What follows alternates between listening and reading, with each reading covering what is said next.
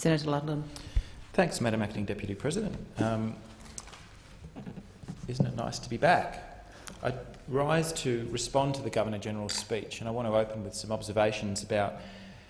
the ritual that we are presently engaged in. Um, and I want to draw on um, the former clerk of this place, Harry Evans, when he made some observations in 2004 um, at a conference of presiding officers about the address in reply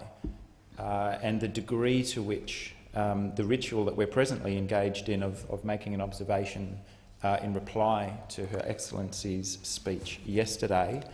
um, is or isn't in accord, um, in fact, with our own constitution. Uh,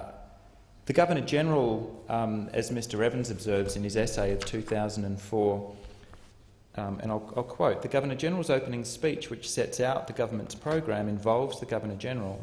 who is otherwise supposed to be a politically neutral head of state, in speaking as if he or she were the actual head of government and in making contentious and partisan political statements. Now, I certainly in no way uh, want my remarks to be construed as criticism of the Governor-General. Um, in the Boyer lectures, we had the pleasure and the benefit of her, of her considered views, and I think yesterday we would all agree that uh, Her Excellency acquitted her responsibilities with dignity and managed to make her way through the entire speech um, with a straight face. There were only two moments where the, the, decorum that is expected of this chamber broke down during the speech. Um, as I recall, the first, uh, the proposal that the new government's foreign policy priorities are Geneva, uh, Jakarta, not Geneva. And I think you could forgive this side of the chamber a moment um, of, of dark humour as we reflect on the diplomatic omnishambles that has unfolded uh, as the government has blundered from one disastrous engagement uh, with our counterparts in Jakarta to the next. And on the other occasion, uh, where Ms Bryce is, is forced to commend the new government's priorities for fast broadband for all Australians while presiding over the deliberate destruction of an entity that was poised to provide just that. Those observations aside, we listened uh, carefully,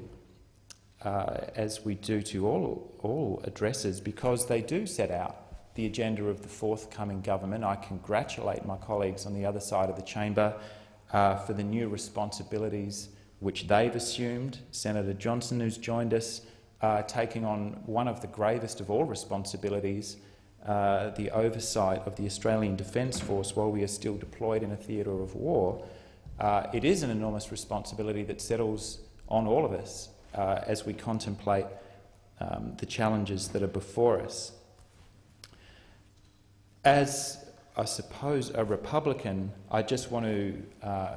close these observations with the sense that, in fact, I do look forward to the day where we don't persist with the ritual of uh, Her Majesty the Queen's representative in this place summoning Parliament summoning the members of the House of Representatives into this chamber to advise the Crown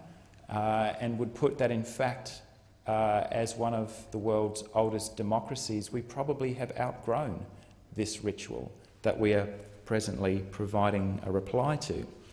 Now, the Daily Telegraph states, so we know that it must be true. Um, we also know that it's one of our Prime Minister's favourite news sources, but this is not an actual quote. So if uh, members of the government um, want to contradict, then I'm, I'm happy to, to correct the record.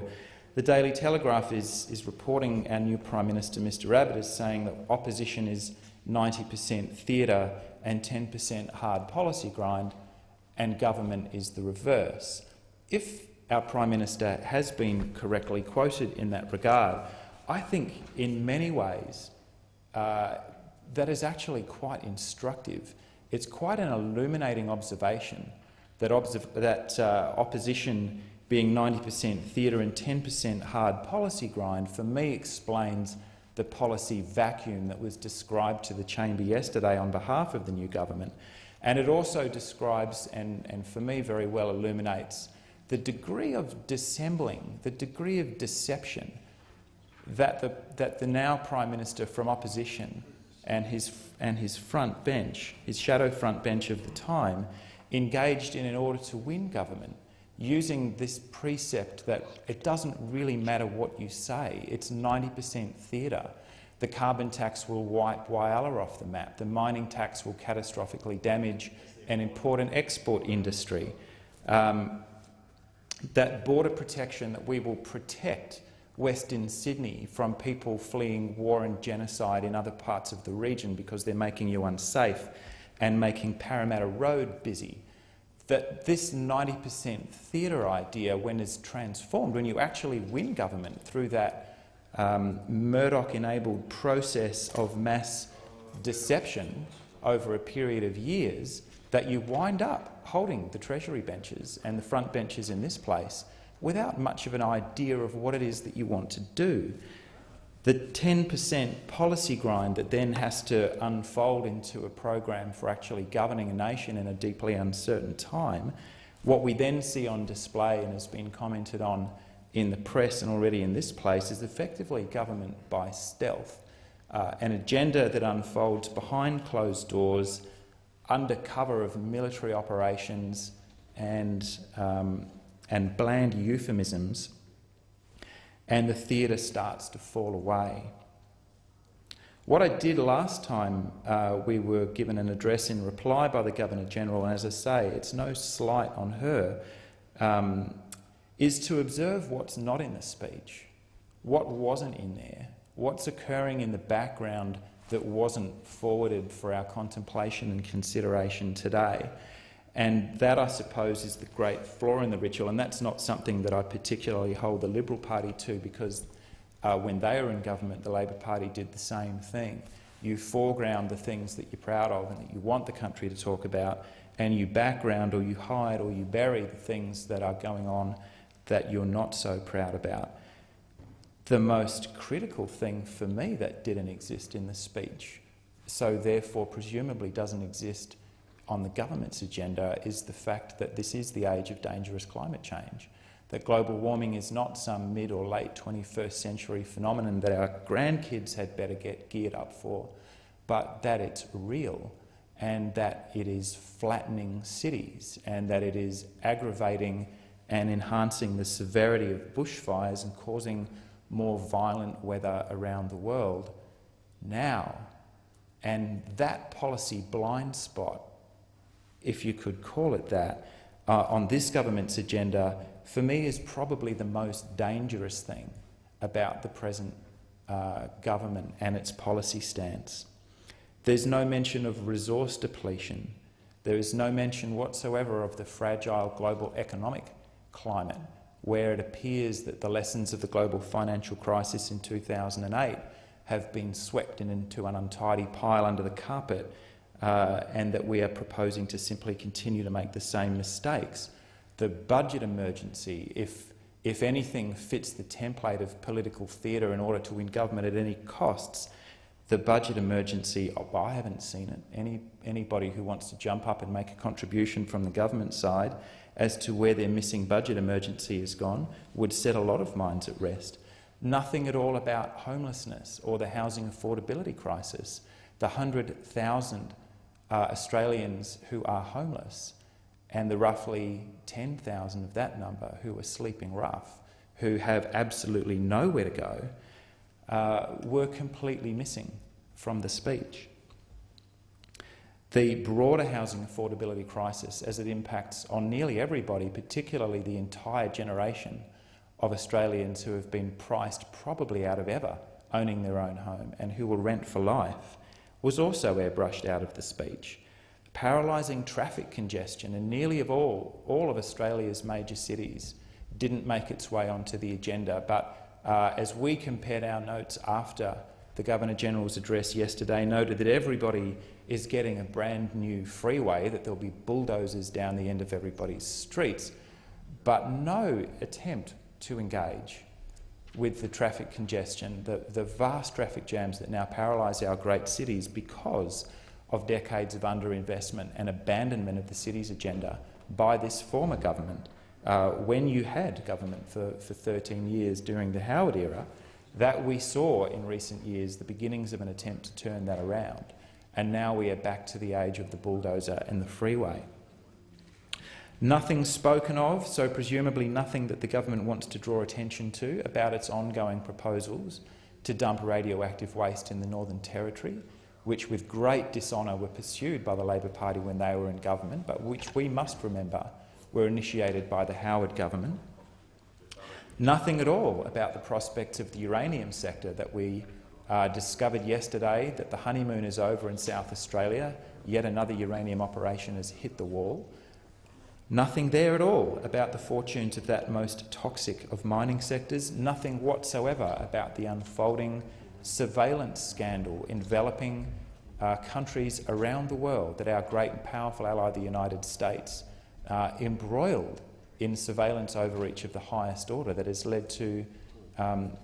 remarkable soul searching in the United States, including from those who drafted the Patriot Act, inquiries in the UK, inquiries and huge diplomatic uh, uproar in Europe, proposals originating in Brazil for an entirely new governance structure for the internet. Um, nothing at all from uh, the Governor-General on behalf of the new Prime Minister about these issues which affect us all. What we hear instead is the agenda that the Australian government is open for business, and this manifests very strongly in the way that Prime Minister Abbott frames the debate around Australia being open for business as though we can just run this ancient continent as though it was a giant corporation that the election of the coal billionaire from Queensland, Mr Clive Palmer, to the other place, who seems to believe that commercial experience is the only prerequisite you require for running something as complex as uh, the continent and the Commonwealth of Australia, or Mr Maurice Newman, who perhaps gives us the, the essence, if you like, the, the free base economic theory that says uh, markets will run everything, markets in unrestrained form will run everything to the, to the benefit of all, that the minimum wage is about twice as high as it needs to be. And if only we simply let big business have its way, all would be well. This is a government backing into the 21st century with its eyes fixed on a past that no longer exists. And these are dangerous times to be governed by an executive with its back turned to the century and to the circumstances in which we find ourselves. It is a government of stealth that proposes to be run by corporations for corporations. It is going to take all of the resources that this parliament can bring to bear to hold you to account. Uh, and so that is something um, that we in the Australian Greens and on the crossbenches, that is a responsibility that we take enormously seriously. That when you come to government proclaiming a new age and a new era of transparency, that this chamber will be testing those claims. It'll test them this week. The Budget Estimates Committees will test those claims of a new transparency and openness next week in budget estimates. And as this parliament unfolds, make absolutely no mistake that a government with its back turned to the challenges that confront us uh, is going to end in tears as we do, as we have with this government, uh, with the past government, with the one that came before, the Australian Greens are open to negotiation, we are open to collaboration, we are open to working with the crossbenchers or with members from all sides and all parties on the deep challenges that confront us. But the first thing that the Abbott government will need to do is turn around and actually open its eyes to the challenges that are bearing down upon us. Thank you.